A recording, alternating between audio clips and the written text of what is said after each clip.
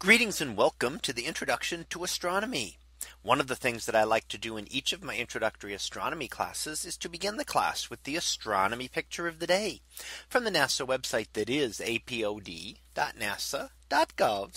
apod. And today's picture for April the 14th of 2022. Well, it is titled Messier 96. So what do we see here? Well, this is an example of a spiral galaxy. And a spiral galaxy is probably similar to our own. But this one, of course, we can see from outside. Whereas when we look at pictures of our own galaxy, we're getting the view from inside the galaxy, which of course will look quite different. Now you may notice that there's a lot more than one galaxy here in this image. And you can tell that by looking at the various different objects and the stars will have a diffraction pattern or a cross pattern going through them as light enters the telescope.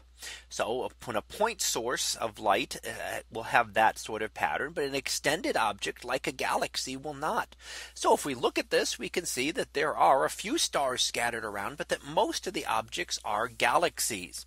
And in fact, one other large galaxy, if you look up to about the one o'clock position, there is another spiral galaxy. This one we see about edge on looking at its edge within the spiral arm of this galaxy.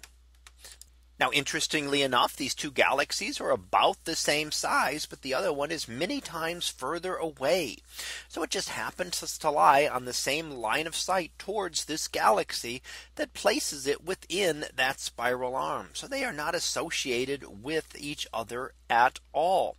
Uh, they're actually again very uh, very different galaxies different well out uh, apart from each other in the universe the nearer galaxy about 38 million light years away and the other one about five times further away maybe closer to 200 million light years away and of course, the stars being much closer within our galaxy are very close, maybe being hundreds or thousands of light years away.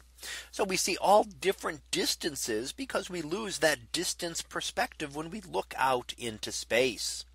Now when we look at the uh, structure of this galaxy, it does look a little uh, perhaps unusual and that it is not as pretty and perhaps as symmetric as other galaxies that look like great spiral galaxies, spiral whirlpools in the sky.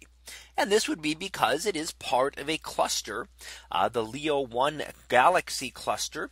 And that is a grouping of galaxies. And of course, some of them are close enough together that they interact and tidal interactions will distort the shape of the galaxies.